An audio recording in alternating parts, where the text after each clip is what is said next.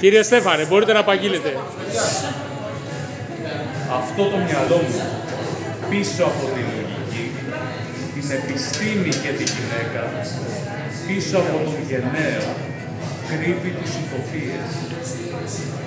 Από μικρό παιδί, κάθε τι με άγγιζε στο νερό.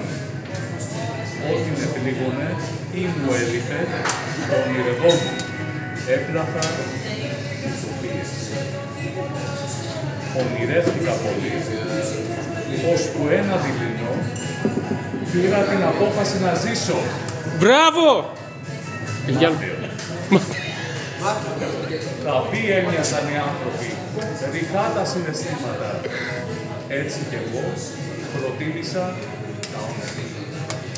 Μα κάθε που με έκσταση και σε προβάλλει το ένστικτο να ζήσω, θυμάμαι τα δάκρυα της μάνας και το βλέμμα της στη βέρα από χρυσό που φόρεγε στο δεξί. Και εκείνο το κορίτσι που σκότωσαν σε μία άγνωστη θάλασσα. Μένω λοιπόν αφηγητής. Αφήνω το ρόλο του πρωταγωνιστή σε εσάς.